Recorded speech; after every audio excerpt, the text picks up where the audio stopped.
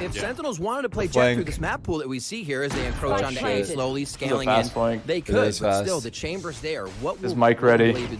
Mike.